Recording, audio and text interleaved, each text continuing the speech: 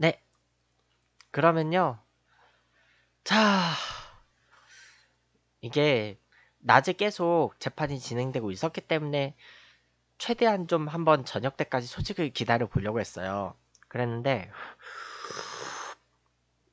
최대한 소식을 기다려 봤는데 아니나 다를까 1년만 1년에 한 번 법정에 가놓고 잤대요. 음. 이걸로 비칠까 아니면 이걸로 비칠까 이게 낫겠죠? 아무래도 어차피 이 오른쪽에 뭐 뭐, 뭐, 뭐, 랭킹 광고 뭐 이런 것들이니까 그냥 채팅창 뭐 캠으로 가릴게요. 음. 네. 귀가할 때 지친 기색을 비치며 심지어 심지어 철자도 틀렸죠. 어. 어쨌든 네 뒷모습이라고 하고요. 음 전두환 씨의 뒷모습. 근데 언론에서는 아직도 이 호칭을 전 대통령이라고 쓰네요. 뉴스에서는 지금 전부 다 전두환 씨라고 바꿨는데 그 전두환 씨라고 불러야 되는 게 맞아요. 왜냐면요. 물론 이제 전 대통령이었던 건 맞아요. 그런데 예우가 박탈된 사람한테 언론 언론에서 굳이 전 대통령이라고 쓸 필요는 없다고 봐요. 어. 예우가 박탈된 사람한테 전 대통령이란 치고는 안 맞다고 봐요. 그러니까 나는 항상 박근혜 씨라고 부르잖아요. 음. 그 이 조비오 신부님이 내가 아빠한테 물어보니까 아빠가 이제 그 고등학교 대학을 광주로 나왔잖아. 그래가지고 물어보니까 그 세례명만 비오래요. 왜냐면 그 당시에는 이름까지 세례명처럼 그 주민등록상 이름까지 세례명으로 붙인 사람이 별로 없었어요. 지금 저기 서울대교구 주교님 중에 그 구요비 주교님만 그 세례명 따라서 그 실제 주민등록상 이름도 간 거예요. 그 세례명이 욥이거든요. 그 욥이라는 성인이 있는데 그걸 이제 한자를 한 글자만 하기에는 좀 그러니까 요비라고 해가지고 어쨌든 그렇게 이름을 붙인 주교님이 한 분 계시긴 한데 어 그쵸 죽은 사람에 대한 명예훼손 이것도 명예훼손이에요. 음. 그 고인 명예훼손이죠. 그 이 어쨌든 이 비우 신부님에 대해서 이 명예훼손 혐의로 기소된 전두환 씨. 그러니까 이제 아무래도 이, 이분이 그 광주 관련 인물이시다 보니까 그래서 재판이 광주에서 열려요. 음. 부인도 같이 동행을 했어. 근데 부인하고 나이 차이가 꽤 되네요. 만 89일 거 아니야. 잠깐만요. 지금 전두환 씨가 그 음, 전두환 씨가 어 1900, 1931년생, 어, 만 89세구나. 음, 만 89. 아직 90대 안 됐네. 참. 네. 어쨌든, 아, 21시 14분에 연희동 자택에 도착을 했대요. 그래서, 그, 집이 연희동이야? 음. 시민들에게 할 말이 없느냐, 범죄 혐의 인정 안 하느냐, 취재진 질문에 그냥 대답 안 하고 자러 갔대요. 법정에서 열심히 졸아놓고서는 집에 바로 자러 들어갔대. 참 밤에 그러고도 잠이 잘 오겠다. 응. 경찰 인력을 두 개 중대나 넣을 필요가 있을까 싶기는 해요. 물론 이게 전직 대통령의 예우가 박탈된 사람들이요.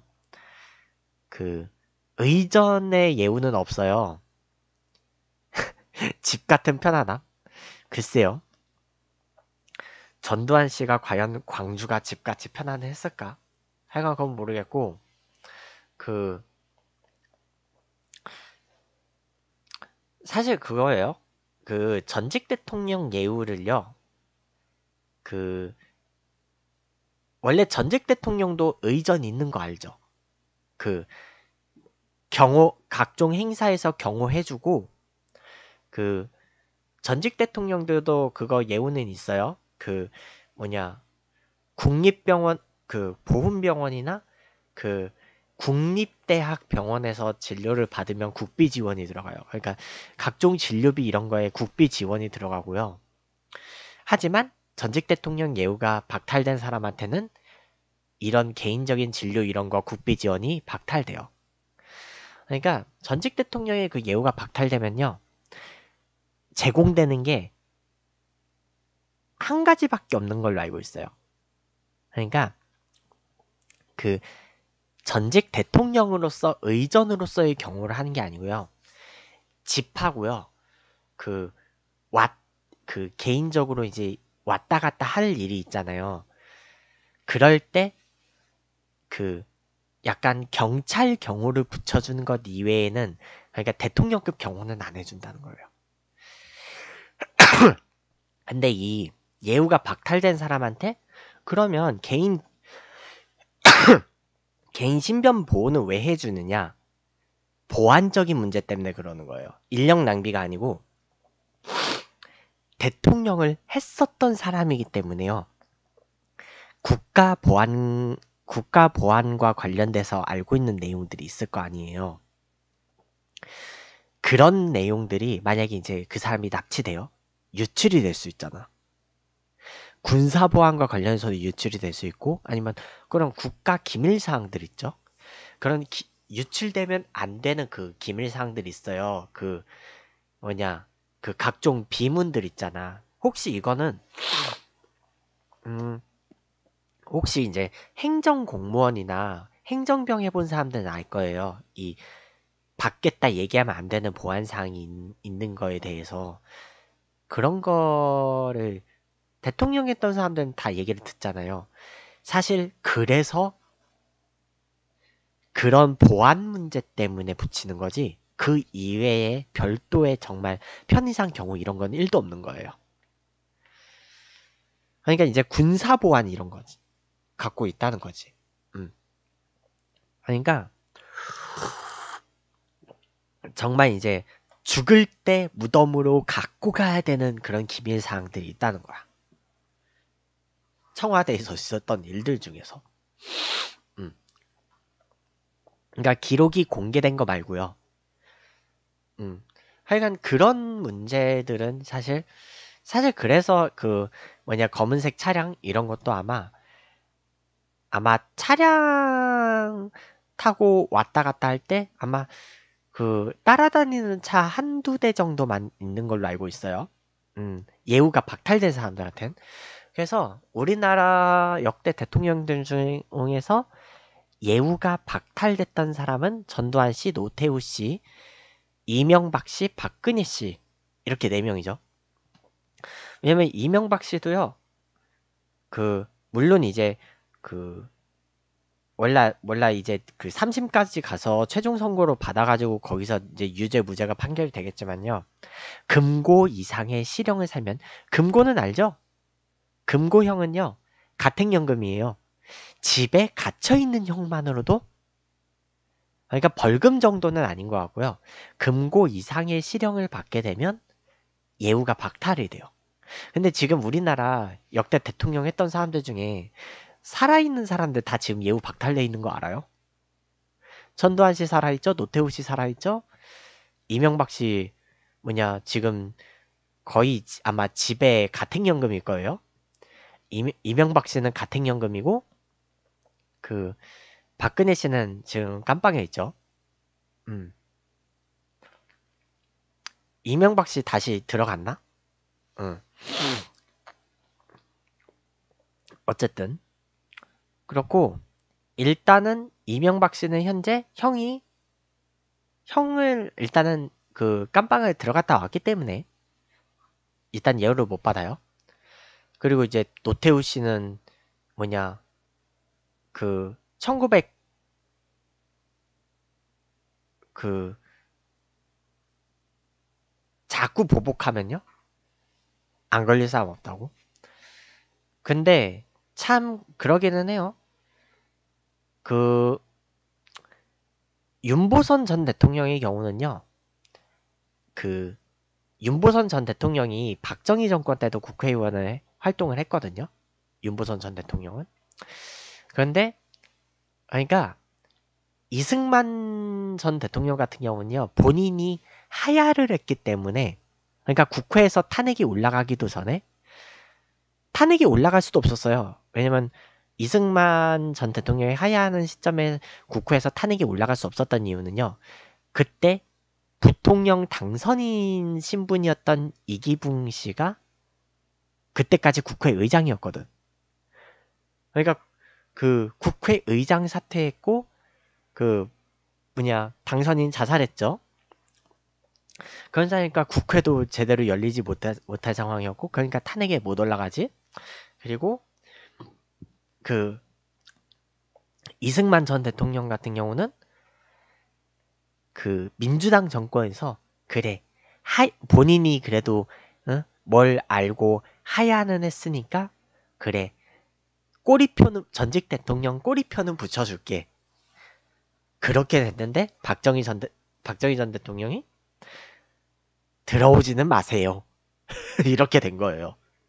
응. 예우는 해주 해, 해드릴 건데 들어오진 마세요. 해서 죽어가지고 현충원으로 왔잖아. 음. 그리고 뭐 박정희 전 대통령은 그 임기 중에 죽었기 때문에 뭐 박탈 박탈할 여지도 없었고 그리고 윤보선 전 대통령 같은 경우가 아마 박정희보다 오래 살았을 거예요. 근데 윤보선 전 대통령 같은 경우는 이제 그 국회의원 중에도 계속 투쟁을 했었어요. 근데 사실 뭐냐 다른 의원들은 다 막 잡혀 들어가고 막 그랬었는데 윤보선 전 대통령은 그 전직 대통령이라고 나름 예우는 해준다고 그 집에서 나오지만 말라고 했대. 금고형까지는 안, 해, 안 했고. 약간 그래서 형을 지는 적이 없어요. 윤보선 전 대통령은. 그리고 최규하 전 대통령이야 뭐 그냥 몇 달 깔짝 있다가 사라진 사람이라 음 그래서 예우만 받았지 존재감은 없는 사람이었고 그리고 김영삼 전 대통령, 김대중 전 대통령 둘 다 국가장이었죠. 그 그리고 노무현 전 대통령 국민장 역시 국가장에 해당됐죠. 근데 이제 노무현 전 대통령이 먼저 죽었잖아요. 자살을 해가지고. 근데 그때는 집권자가 이명박 씨여서 그런 건지 모르겠는데 국장까지는 안 했어요. 국장까지는 아니고 국민장이었고 김대중 전 대통령 같은 경우는 아무래도 이제 그동안 사회적으로 쌓인 이미지가 있었기 때문에 국장이 간 거예요. 음. 아니면 그때까지만 해도 국장하고 국민장은 달랐어요. 음. 그런데 김영삼 전 대통령 같은 경우는 이게 국가장으로 치러진 게 국장하고 국민장이 통합이 됐어요. 각종 그런 국, 국가급 장례가 통합이 돼 있어서 국가장이 돼가지고 어쨌든 현재까지 우리나라의 그 전직 대통령들 중에서 죽었던 사람들은 다 국가장으로 했다고 보면 돼요. 음. 근데 전두환 씨, 노태우 씨는 국가장을 치를 예우가 박탈된 상태예요. 그리고 국가장으로 치러지게 되면요. 국립현충원에 묻힐 수 있어요. 그 국가 보훈 그거 뭐냐 보훈 혜택만 받아도 국가 유공자만 돼도 현충원에 묻힐 수 있는 거 알죠? 그래서 이제 그 유공자들이 있어요.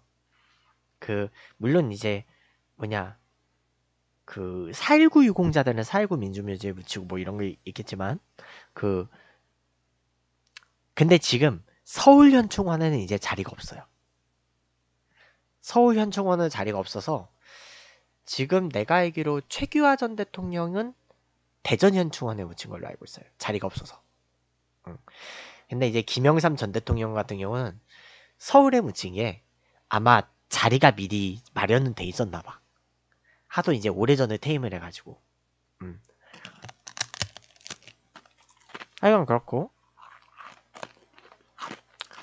근데 김대중 김영삼 전 대통령 같은 경우는요 아마 서울현충원에 자리가 있었을 거예요. 왜냐면 이미 그 삼김시대 때부터 계속 투쟁을 했던 사람들이야. 김종필 전 총리는 국가장 안 치른 거 알죠? 아마 내가 알기로는 사회장일 거야, 그 사람은. 응. 총리에서 끝났기 때문에. 어쨌든 그렇고, 어쨌든, 이 예우가 박탈되면 현충원에 묻힐 수도 없어요. 응. 근데 여태까지 그런 일은 없어서 그런 건지 모르겠는데요. 만약에 이런 일이 발생할 수도 있어요. 영부인이 먼저 죽으면요.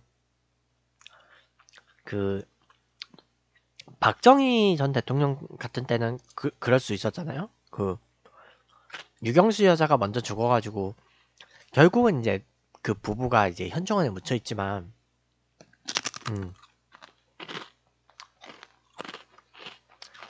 박근혜 씨 같은 경우는 이제 가족하고 같이 묻힐 예우는 없어졌지. 음. 근데 어차피 박근혜 씨는 딸이니까 뭐 그렇다 치고 이제 그런 일이 있을 수 있단 말이에요. 영부인이 먼저 죽어. 근데 그렇게 되면요. 그 이제 영부인이 먼저 죽게 된다면 그 물론 그러면 이제 뭐냐 대통령의 재량으로 그 할 수 있을라나? 하여간 그건 모르겠어요. 그 프란체스카 여사 같은 경우는 이승만 전 대통령이 현충원에 묻혔기 때문에 프란체스카도 같이 묻힌 거거든요. 나중에. 음. 그랬는데 아, 그러면 영부인이 먼저 그랬을 경우에는 그 영부인이 먼저 다른 데 묻혀 있다가 만약에 전직 대통령이 죽을 때 같이 합장이 되나? 이장해가지고? 하여간 그거 정확한 건 모르겠어요. 음. 어쨌든 그러니까 이 경찰 인력이 배치되는 거는 사실 그거 문제 때문이에요. 예우가 박탈된 전직 대통령들도 이 국가 보안상의 문제로 보호는 해야 된다는 거예요. 그러니까 결국 개인 개인 안전이 아니고 국가 보안인 거야. 대통령이 되는 순간부터. 음.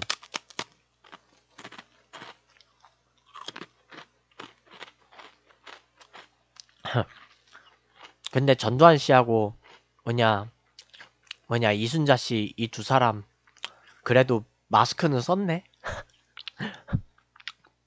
마스크는 썼네요. 음. 작년 3월 이후 1년 만에 음, 광주 지법에 출석을 했고요.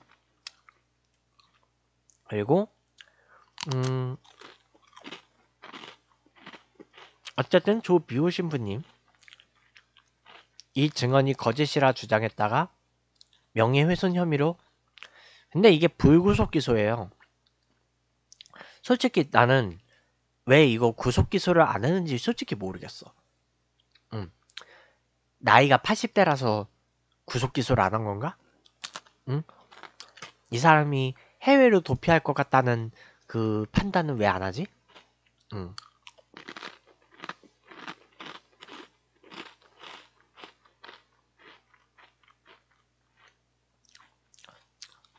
성직자라는 말이 무색한 파렴치한 거짓말쟁이? 무슨? 어쨌든 2017년 4월에 이 사람이 회고록을 쓴 적이 있어요. 전두환 씨가. 근데 지금은 이거 회고록 판매 안 되는 거 알죠? 응. 그리고 문제는요. 이 전두환 씨의 회고록이 나온 시점이 언제였냐면요. 박근혜 씨가 탄핵되고 그 다음 달이었어요. 2017년 4월에 나왔대잖아.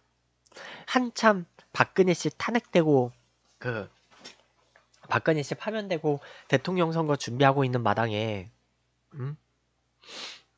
국민들이 그거를 그만히, 가만히 넘어가겠냐고요. 헬기 사격이 없었다고? 그러면 그 전일 빌딩에 그 박혀 있는 그 뭐냐 사격 그 흔적은 뭐, 뭐 뭘까요? 왜냐면요.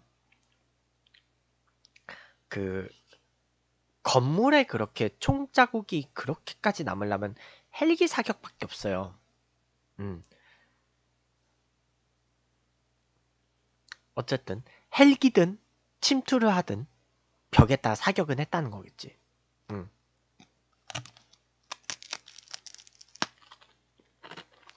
헬기 사격 중 중이나 대위가 난 그 사람들이 하지 않았다고 본다고? 근데 그 당시에 계엄군이 군인이었나요? 거의 다 재판 도중 졸았다고? 피고로서의 올바른 자세인가요, 이게? 응? 그래서 3시간 20분 했고, 재판 종료 직후 바로 광주를 떴다고? 음.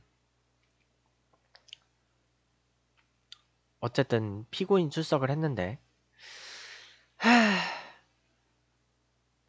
관련, 관련 뉴스 없나요? 음. 어쨌든. 그래서, 음,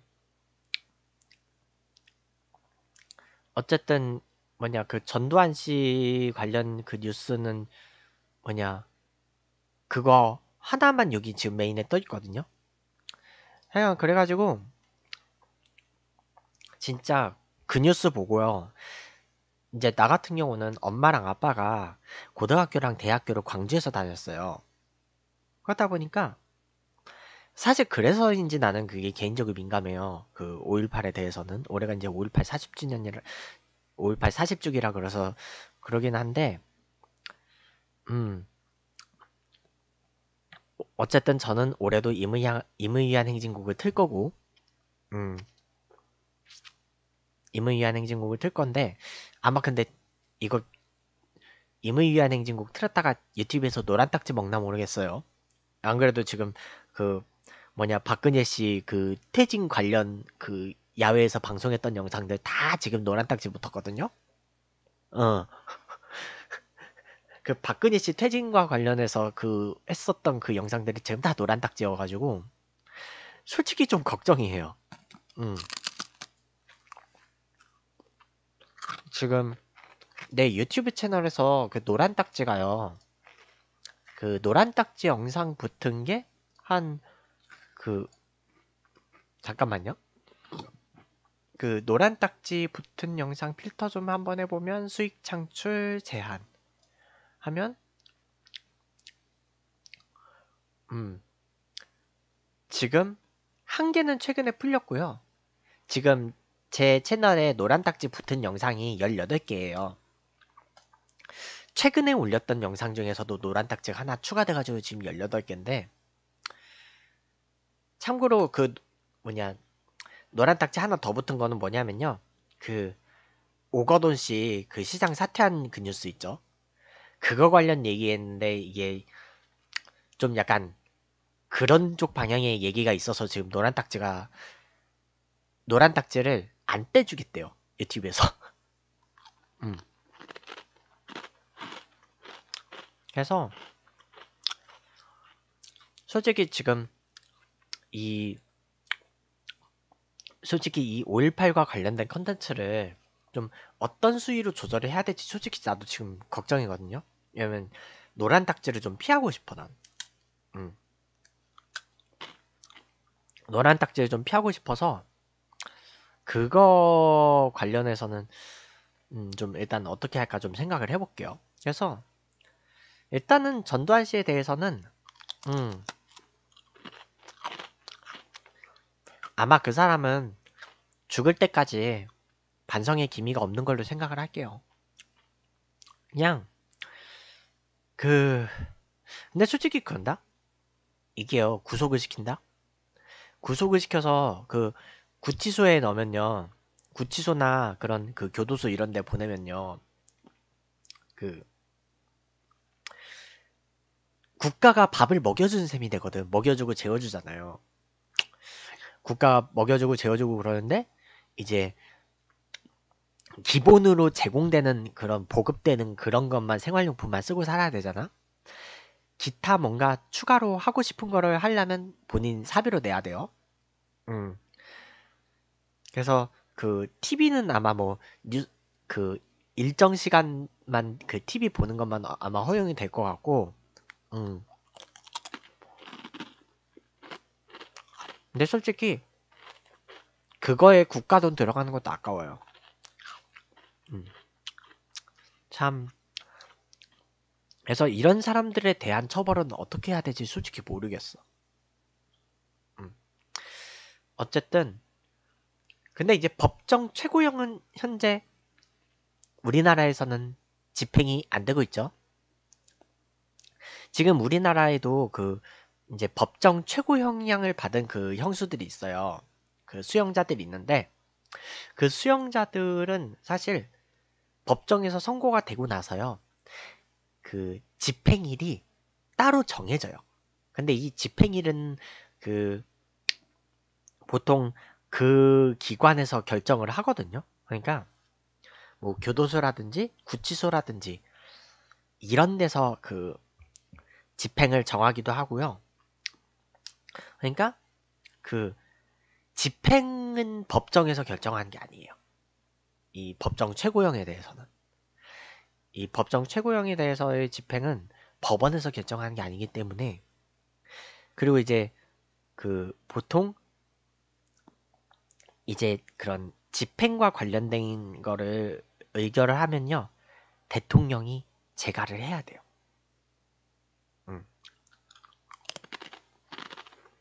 하물며 근데 우리나라에서 21세기에 들어온 이후로 이 법정 최고형이 그 집행이 안 됐거든요. 우리나라에서는 그렇기 때문에 음 일단은 뭐 그래요. 이 전두환 씨에 대해서 좀 어떤 좀 대가를 좀 치르게 하고 싶은데 사실 그래 전두환 씨가 그 한때 법정 최고형이 선고됐다 그 감형돼서 석방이 돼서 나온 거는 사실 그거에 더 크잖아요.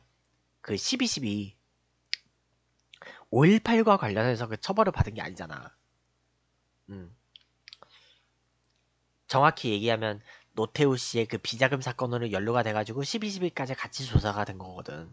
그러니까 이거는 약간 그 독재 정권과 관련을 해서 그 김영삼 전 대통령이 묶어서 그 올린 거거든요. 올, 물론 5.18 특별법을 만들어주긴 했는데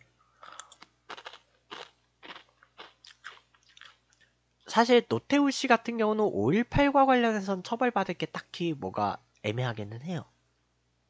음.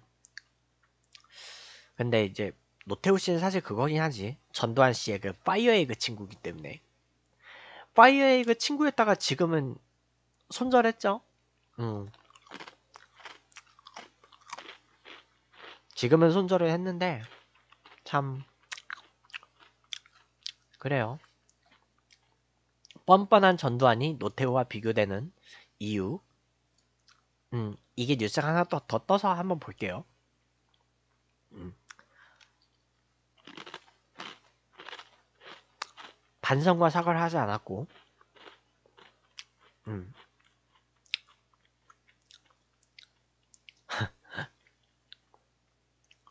그리고 재판 내내 졸았다고.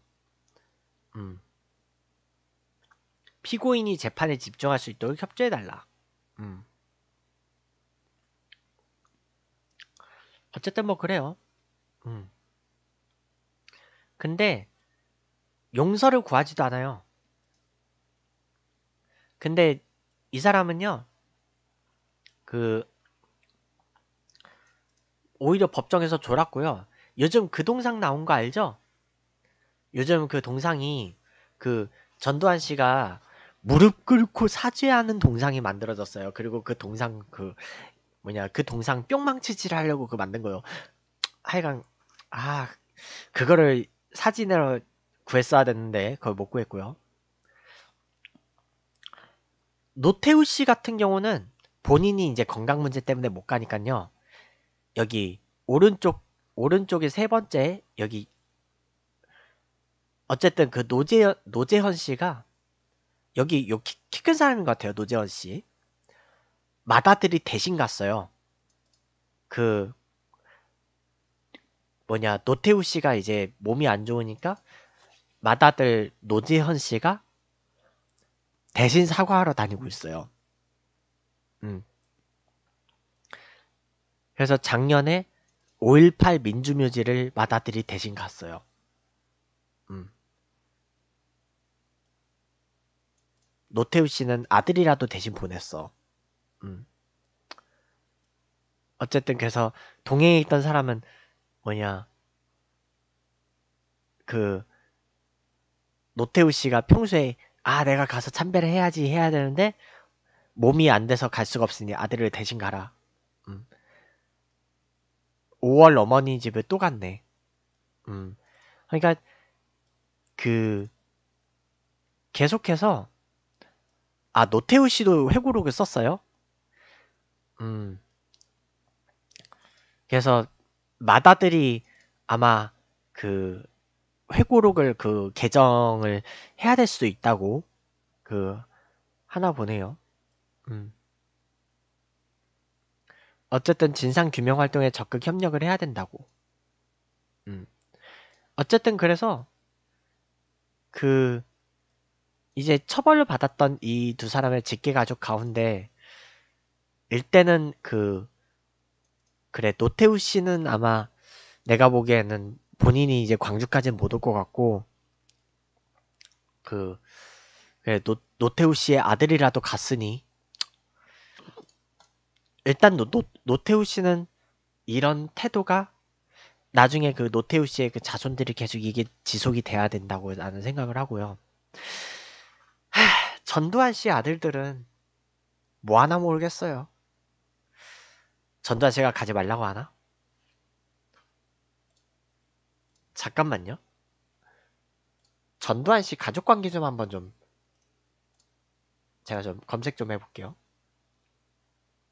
왜냐면 그 가족 관계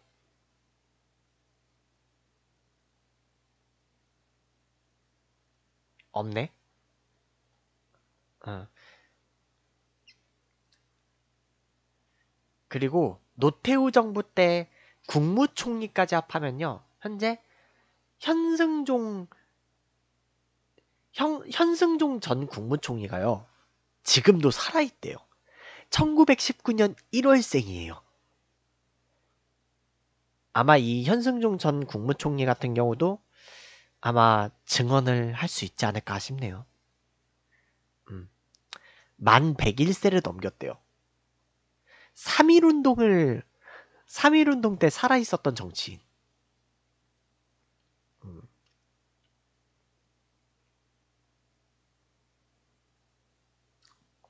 어쨌든 그래서. 음. 그렇고.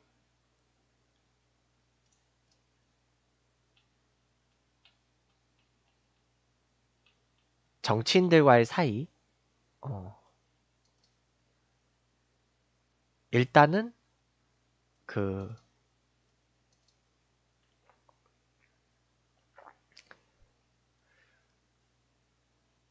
정치인들과의 사이에 볼까요? 박정희 전 대통령, 상관, 음, 그리고 하나회, 그래서 장성급 장교가 됐고, 그리고 노태우 씨, 음,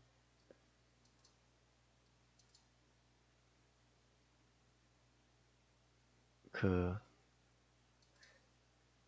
노태우 씨가 대통령이 되고 나서 전두환 씨를 백담사로 보내버려서 그때 이후에 손절 선언. 어. 근데 이제 96년 재판자에 자네구치소에서 계란 후라이 주나? 어. 어쨌든 그 펴, 평생 친구 사이라서 그리고 김영삼 전 대통령 이 전두환을 대통령이라고 부르지도 않고 경멸하는 사람이었다고. 음. 어쨌든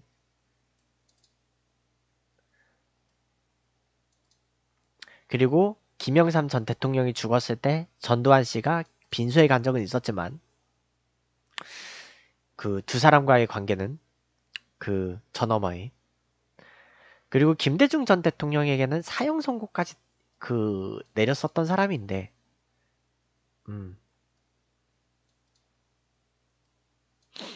연결식에서 조문을 했었고 노무현 전 대통령 어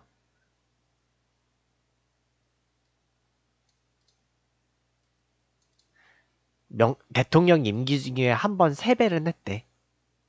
이명박 씨, 김영삼이 발탁해서 키운 정치인. 어. 딱히 뭐 없네. 박근혜 씨, 당연히 박, 박정희 전 대통령의 아, 딸이니까 뭐 관계가 있었겠고, 현 대통령하고 전두환 씨와의 관계, 그, 전두환 씨가 1976년 여단장일 때 문재인 대통령한테 특전사 최우수 표창을 직접 수여한 적이 있대요. 음. 근데 이후 대통령이 이제 5월 17일 때 복학생 협의회 활동으로 계엄령 위반으로 청량리 구치소에 수감된 적이 있었죠. 음. 근데 참고로 여단장일 때 사령관도 표창을 했는데 그 사령관은 정병주 소장. 음. 어쨌든 하여간 그렇다고 하고요. 아, 가족 관계가 안 나와 있네요. 왜냐면 내가 알기로 그 전에 그 배우 활동했던 사람들 중에서 그 맞아. 이 사람이거든요. 맞네. 그 박상아 씨가 그 뭐냐 전재용 씨하고 결혼한 거 알죠? 그래서 시아버지가 전두환 씨예요. 어. 그래서 전재용 씨가 그 전두환 씨의 그 둘째거든요. 어쨌든 그래서 그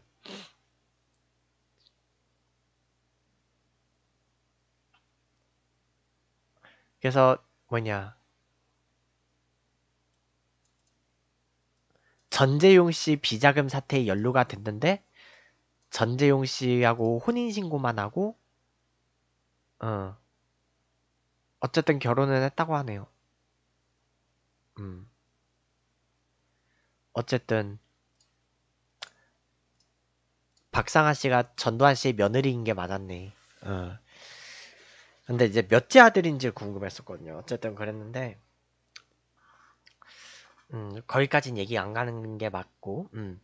어쨌든 음, 참 이 참 이게 전두환 씨는 이 사람이 솔직히 근데 우리나라 지금 약간 그런 민주주의 역사를 보면요. 정말 그때 투쟁했던 지도자들은 지금 다 죽었고, 음? 지금 그, 그 시대에 투쟁했던 삼김들은 지금 나 이제 이 세상에 없잖아요. 삼김들은 없는데, 전두환 씨만 아직 용서도 안 빌고 있고, 어. 참 그렇단 얘기예요.